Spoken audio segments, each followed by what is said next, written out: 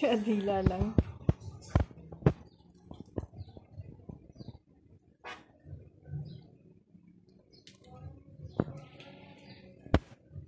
Bait naman ni Ate Jella, oh. Namimigay, hindi kagaya Hindi na makakain si ano eh, si Ate Jella, oh. Nakatingin lang kay Jella.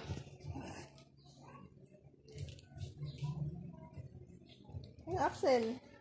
Okay ka na dyan?